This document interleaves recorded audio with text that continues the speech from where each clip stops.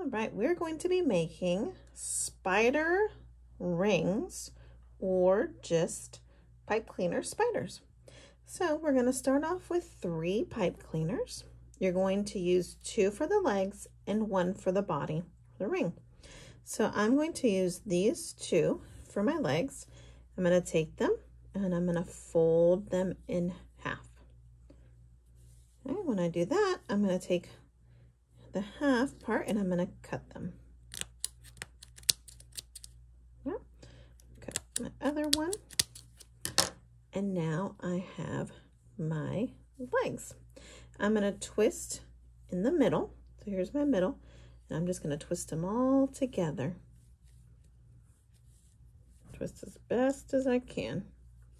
All right. So I have four legs on one side and four legs on the other side. So now what I want to do is I kind of want to separate my legs and separate them on this side. And if you want the colors to vary, that's when you can do that. So now to make it look more like legs, I need to fold them. So I'm going to use my thumb and I'm going to push up and I'm going to keep going. I'm going to push up. And I'm going to push up and push up again. So here we go. Now spider is an arachnid. I'm going to keep doing that on the other side. Yeah. And like we saw, they have eight legs. They also have eight eyes. There we go. This is looking a little more like a spider now. But I need to do one more piece. I'm going to give it a little foot per se. So I'm going to take the end and I'm going to fold this side up like this. I'm going to do the same thing here. And I'm going to go all the way around. And so I'm folding up and keeping this out. I'm going to do the same thing on this side. Up, up, up, and up. And I kind of want to make sure all right, there we go. So now the last part is the body. So if you're going to create just a spider and not a ring, you're going to take this and you're going to wrap it all the way around. So you're going to start here. Okay, I have my piece and I, can, I want to start wrapping and I want to cover where I started so that I don't get poked by it. And I am just going to keep going, wrapping it around the middle.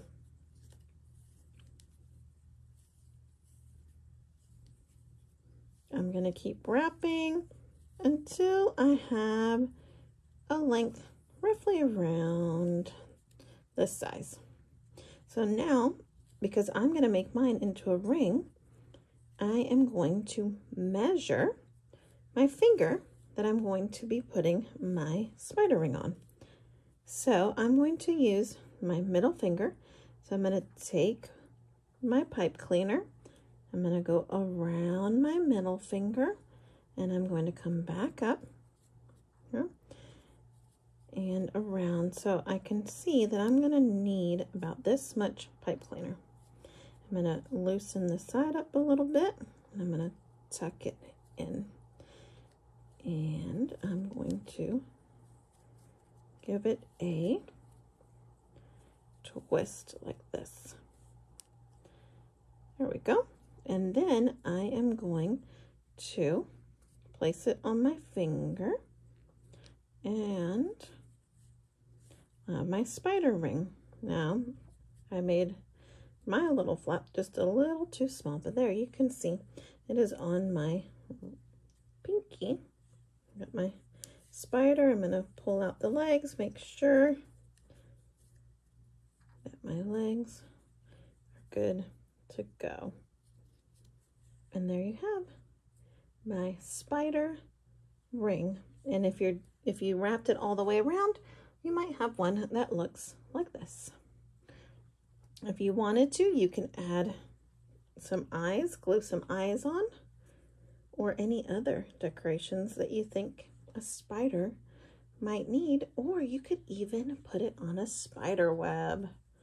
All right, I hope you enjoy your spider or your spider ring.